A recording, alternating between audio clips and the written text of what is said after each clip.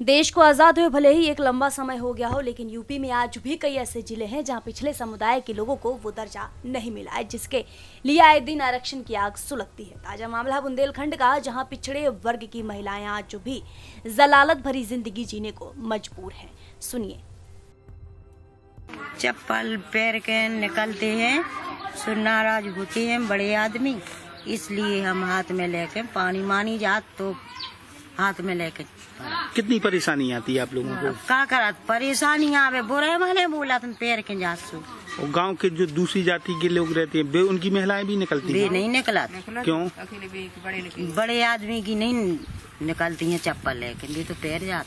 केवल छोटे लोगों की? हाँ हमन हो रहे तो हाथ में लेके पानी भर सका। अगर पहन के निकलो तो क्या होता है? वो तो भाई बुरे भले बोलत गाड़ी गुल्ला ज़्यादा हाँ। एक दो बार कभी आपने शिकायत इतने है? बेहूर है चप्पल ले पैर के निकल रही। रपोटा रपाटी करे आए हम। पुलिस वगैरह किसकी सुनती है? हैं? बड़े आदमियों की क्या आप लोगों की सुनती है अधिकारी? नहीं की सुनत? अब गरीब आदमी की को सुन रहा? तो वहीं से पूरे मामले पर पुरुष समाज का क्या कहना है? जरा ये भी सुनिए। ये है कि जो दबे कुचले वर्ग की महिलाएँ हैं वो आज भी या जो दलित हैं कमज़ोर वर्ग हैं वो महिलाएँ आज भी चप्पल पहन के किसी सामंत या किसी बड़े लोगों के दरवाजे से नहीं निकल पाती हैं। अगर निकलती भी हैं तो उनके लिए इतना उनके परिवारों को टॉर्चर किया जाता है बेइज्जत किया जाता है कि उनके पुरुष भी दहशत में रहने के कारण महिलाओं को साहस नहीं दे पाते क्योंकि उनको अपमान का शिकार होना पड़ता ये है। सभी हाँ, ये भी पुरुष साइकिल पर बैठ के नहीं निकल पाते हैं और यहाँ तक कि मामूली सी गलतियों में महिलाओं की तमाम ये ग्राम के दबंग और ये जब ऐसी पंचायतें करते हैं कि महिलाओं को भी बहुत बेइज्जत होना होना पड़ता है और उनके परिवारों को भी बेइज्जत होना पड़ता है तमाम इस पूरे घटनाक्रम पर जिलाधिकारी मानवेंद्र सिंह का क्या कहना है, ये सुनिए। देखिए, इस संबंध में मैं, मुझे लगभग यहाँ पर मैं एक साल, पाँच महीने से हूँ। लेकिन अभी तक कोई संबंध में शिकायत नहीं मिली है। मेरा ग्रामीण भ्रमण भी काफ़ी होता है। मैं प्रति सप्ताह कम से कम एक या दो गाँव में ज़रूर चौपाल का कार्य करता हूँ।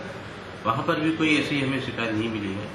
और कई बार ऐसा होता है कि लोग अपना नाम छुपा के शिकायत करते हैं, फ़ोन पे बताते हैं, लेकिन मुझे ना तो फ़ोन पे कभी इस तरह की कोई शिकायत मिली, ना ही नाम छुपा के कोई व्यक्ति शिकायत मिल सकी है।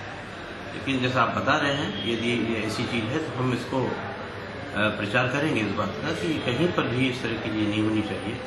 और यदि आम जनता या गरीब महिलाएँ कोई दबाव महसूस करती हैं तो उसके विरुद्ध हम कार्रवाई करेंगे और इसको संज्ञान में लेकर भविष्य में हम निर्देश भी जारी करेंगे कि इन सब चीज़ों को देखा जाए और इस तरह की प्रथा की लागू है।